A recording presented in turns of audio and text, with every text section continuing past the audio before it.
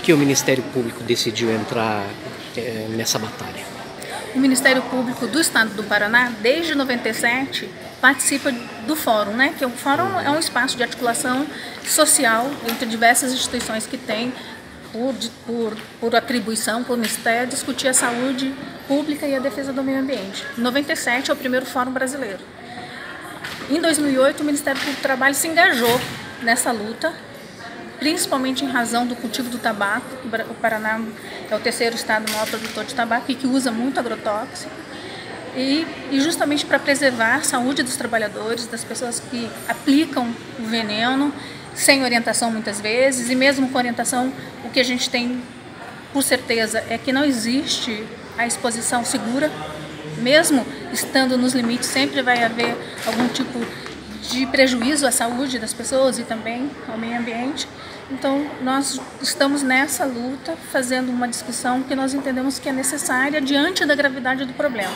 O agrotóxico é um problema muito grave, pela quantidade que nós estamos usando, pela forma irresponsável como nós estamos utilizando e essas são coisas que a gente precisa discutir. Qual que é a sua defesa em base a essa audiência pública de hoje? Olha, na realidade são apresentados alguns dados que na minha interpretação são tendenciosos e são distorcidos. Né? Mas são dados científicos, Borges? São, são dados estatísticos, não são científicos. Hum. Nós nos baseamos em estudos científicos que estão à disposição né, de todos. Ah, acredito Nós estamos ser... dentro de uma acredito ser estatísticos. É. Mas aí é o seguinte, então, quando você fala que no município igual Ivatuba, ou Floresta, ou você consome tanto de produto, e aí divide por, pelo número de, de habitantes, é distorcido. Ninguém aplica defensivo agrotóxico nos habitantes, se aplica nas propriedades, depende da extensão do município, do que ela produz. É isso que isso é uma distorção grave.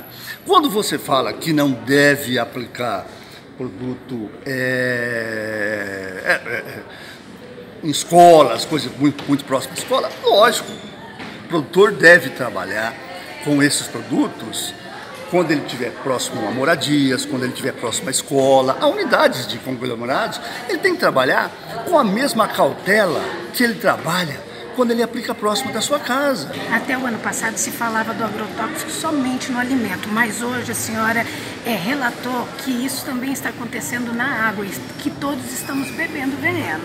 Todos, ninguém está salvo.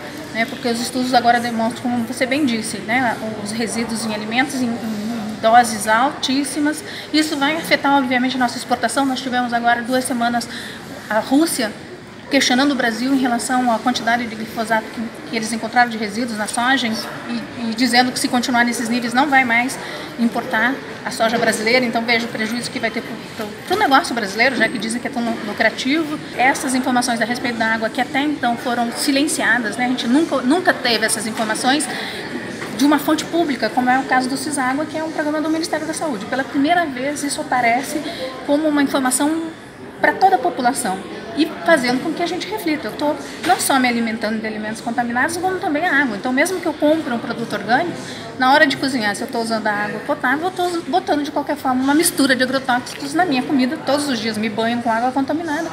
E outros estudos demonstram que até água da chuva. Está né? chovendo agrotóxico nas nossas cabeças, porque o, agrotóxico ele não some. Em algum lugar ele vai, ele vai para a nuvem, ele vai para o rio, ele vai para o solo, ele vai fica pelo vento, enfim. Nós estamos sendo contaminados todo o tempo. Em relação àquilo que se pode usar de agrotóxico na Europa, que é permitido 0,5% e no Brasil é acima de 1%. Pois é, mas aí, mas aí a e pesquisa quem tá certo? Quem está Não sou eu, ah. e nem elas, e nem o promotor está certo. Porque ele não, é, ele não é pesquisador, é pesquisa tem que dizer isso. Se a pesquisa disse, não foi por acaso. Não. Agora, se a pesquisa se submeteu, se submeteu a forças é, do poder econômico, isso é uma outra questão. O segmento econômico, justamente pelo, pelo, pela facilidade que tem, ele consegue, a gente chama até de, de pesquisa sob encomenda.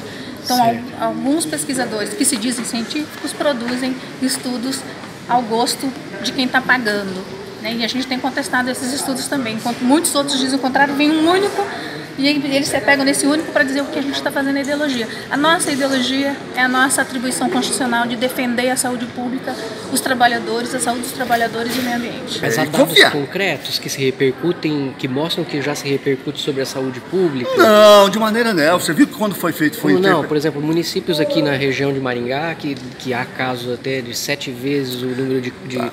de câncer em relação tá, a outras mas, tá. regiões. Tá. Mas é... com relação. Não, sim. Mas quando é. ela foi interpelada, ela disse que os agrotóxicos também, né? Porque existe um monte de outros fatores que contribuem para essas hum. anomalias que ela se referiu lá é. e tal, com relação a nascimentos. Os agrotóxicos também o que a gente defende é, é o bom uso do agrotóxico. A gente vem tentando há bastante tempo fazer com que pelo menos os agrotóxicos proibidos nos outros países também sejam proibidos no Brasil. E numa, num, num, processo bem diferente, a gente tem tido cada vez uma aprovação maior de agrotóxicos proibidos em outros países. Então a gente realmente vive um momento muito delicado no país onde a saúde pública tem sido negligenciada e tem prevalecido o interesse econômico. A pesquisa científica na agricultura está muito avançada. E no Brasil também. Né? Tem muitas alternativas que você pode usar. Agora é preciso que se tenha critério, que se faça com, com, com base na ciência. É a ciência que é a, a, a juíza dessa questão aqui. Não pode ser promotor público, não pode ser o produtor, não pode ser. É a ciência. O que pode ser feito aqui especificamente para essa situação. Mesmo aqui nesse, nesse evento, é. nesse auditório, a gente percebe né, uma, uma resistência bem grande, uhum. porque nós estamos falando de um, de, um, de um negócio que movimenta 48 bilhões de dólares por ano. É muito dinheiro. E existem pessoas dispostas a vender até a alma. Em todas as regiões nós estamos um, um, é, é, presentes para discutir, para questionar isso, porque para que essas essas eventuais distorções sejam corrigidas. A próxima audiência acontece em Londrina? Vai ser em Londrina dia 9 de maio. Vocês admitem que há distorções Exato, e que há abusos? Também, admitimos é. sim. Vamos é. então, ao invés de proibir, proibirmos tudo, vamos, vamos coibir os abusos. Muito através bem. da fiscalização, através da capacitação, da orientação e da discussão, com base na, na, na, na nos conhecimentos que a nossa pesquisa tem. Muito obrigado. Muito obrigada. Tá bom. Ligiane Ciola, do Fato Maringá. Muito bem, nós agradecemos muito. Muito agradeço. Vou lá voltar com a tua Ligiane Ciola, do Fato Maringá.